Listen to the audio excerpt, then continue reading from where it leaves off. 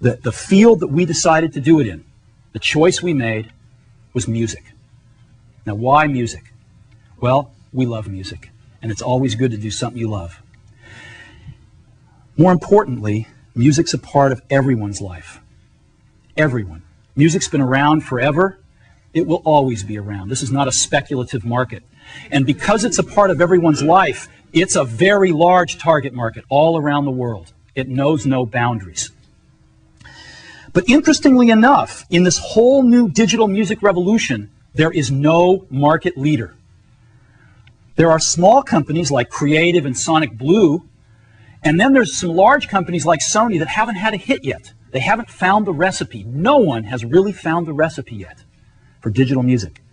And we think not only can we find the recipe, but we think the Apple brand is going to be fantastic because people trust the Apple brand to get their great digital electronics from. So let's look at portable music. Let's look at the landscape. The first thing, if you want to listen to music portably, you can go out and buy a CD, uh, CD player, right? That's one way to go. About 15, 10 to 15 songs. Or you can buy a flash player. Go out and buy one of those. You can buy a MP3 CD player, or you can buy a hard disk-based jukebox player. These are the four choices for portable music right now. So let's take a look at each one of those. A CD player costs about $75, holds 10 to 15 songs on a CD. That's about $5 a song. You can go buy a flash player, pay about double that, about $150, holds the same 10 to 15 songs, or about $10 a song. You can go buy an MP3 CD player, and an MP3 CD, uh, which you can burn on your computer, costs about $150 but holds 150 songs. You get down to a dollar a song. Or you can go buy a hard drive jukebox player for about $300. It holds about 1,000 songs and costs about 30 cents a song. So we looked at this and studied all these, and that's where we want to be. That is where we want to be. And we are introducing a product today that takes us exactly there, and that product is called iPod iMac, iBook, iPod. What is iPod? iPod is an MP3 music player, has CD quality music, and it plays all of the popular open formats of digital music MP3, MP3 variable bitrate, uh, WAV, and AIFF. But the biggest thing about iPod is it holds a thousand songs. Now, this is a quantum leap because it's your, for most people, it's their entire music library. This is huge. How many times have you gone on the road with a CD player and said, oh God, the CD, I didn't bring a CD I wanted to listen to? To have your whole music library with you at all times is a quantum leap in listening to music. But the coolest thing about iPod is that whole, your entire music library fits in your pocket. Okay? You can take your whole music library with you right in your pocket. Never before possible. So that's iPod. There are three major breakthroughs in iPod. Let's take a look at each one of them. The first one is it's ultra portable. So if we're going to keep a thousand songs on iPod and it fits in your pocket, how, how do we do this? How do we possibly do this? Well, we start off with an ultra thin hard drive. We've got a 1.8 inch diameter hard drive that's 0.2 inches thick, super thin. And that hard drive is 5 gigabytes in capacity. 5 gigabytes, which holds a thousand songs at 160 kilobit rate, which is a very high quality rate of MP3 compression. Very high quality. 1,000 songs on this 5 gigabyte drive. And we've built in 20 minute skip protection. That's not, that's not 20 seconds, 20 minute skip protection. So you can take iPod bicycling, mountain climbing, jogging, you name it, and you're not going to skip a beat. So we've got this 5 gigabyte drive that holds 1,000 songs. How do we get the 1,000 songs on to iPod? We don't want to wait, so we've built in FireWire. Now, Apple, as you know, invented FireWire. We should FireWire on every computer we make. It's built into iPod. It's the first and only music player with FireWire. Why? because it's fast. You can download an entire CD into iPod in five to ten seconds. An entire CD. So let's take a look at how it compares with USB. Five to ten seconds for FireWire to load a CD. On a USB player, you're talking five minutes. Let's talk about a thousand songs now. On iPod with FireWire, it is under 10 minutes.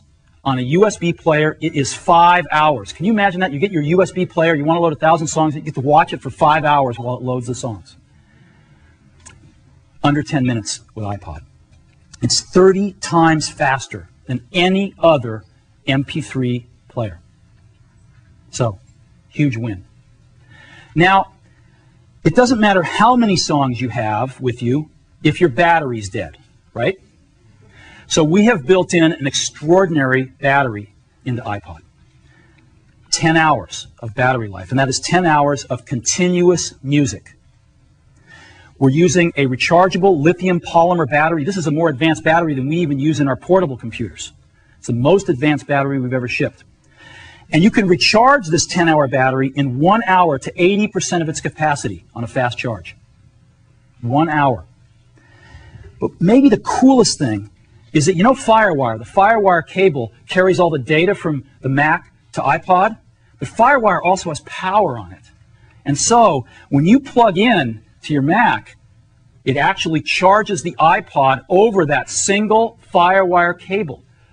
So you don't have another charging cable to worry about. It charges over FireWire every time you plug into your Mac. Now you might say, well, what happens if I'm on the road with my iPod and I didn't bring my Mac with me and my battery's running low? What do I do? Well, we got a really cool charger that ships as part of iPod 2. And this charger has a FireWire port on it. So you take your FireWire cable and just plug it right into the charger and plug it into the outlet and charge iPod wherever you happen to be where there's an outlet. So 10 hours of continuous music playback with a remarkable new battery technology. Now you might be saying, well, this is cool, this is cool, but you know, I've got a big hard disk in my, my portable, let's say my iBook. I'm running iTunes. I'm really happy. I got FireWire on my iBook. I don't quite get 10 hours of battery life, but iBook's got better, better battery life than any other consumer portable. So what's, what's so special about iPod here? It's ultra portable. An iBook is really portable, but this is ultra portable. and let me show you what I mean.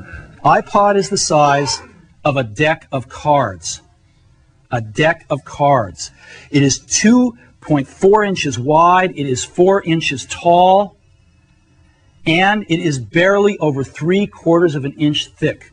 This is tiny. It also only weighs six and a half ounces. That is lighter than most of the cell phones you have in your pockets right now. So, this is what's so remarkable about iPod. It is ultra portable. We didn't stop there. iPod has got Apple design. We've got one of the best design teams in the world, and they have done a remarkable job. Uh, and let me show you. This is what iPod looks from the side. Again, about three quarters of an inch thick. I'm going to show you the back first because I'm in love with it. It's stainless steel. It's really, really durable. It's beautiful. And this is what the front of it looks like. Boom. That's iPod. I happen to have one right here in my pocket, matter of fact. There it is, right there.